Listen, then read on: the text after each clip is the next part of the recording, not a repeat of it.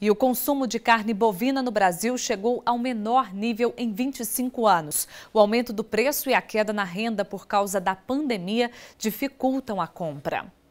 Com a carne 18% mais cara no ano passado, bem acima da alta de 4,52% da inflação geral, o jeito foi reinventar. Leva outras coisas, como língua, coração, os miúdos mesmo. E as carnes de segunda foram as que mais subiram. A costela, por exemplo, teve uma alta de 29,74%. Já a picanha subiu 17%. O contrafilé, 12,71%.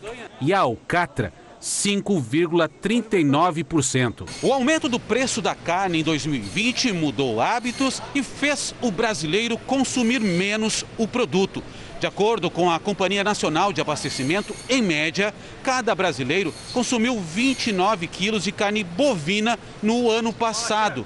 Isso representa uma queda de 5% em comparação ao ano anterior. E para 2021, a projeção é de preço bem salgado. A gente acredita que no mínimo 10% aí no, uh, no bovino tende a subir. Para esta consultora em mercado agropecuário, a escassez de boi no pasto e as exportações para países como a China têm contribuído para a elevação dos preços no balcão. E essa demanda externa, ela acabou enxugando a oferta interna. Então, mesmo com o consumo em baixa, isso manteve os preços pressionados para cima, né, sustentados. O churrasco já vai vir salgado, né, como a gente brinca, mas tá todo mundo se adaptando aí com, com um novo cenário, né?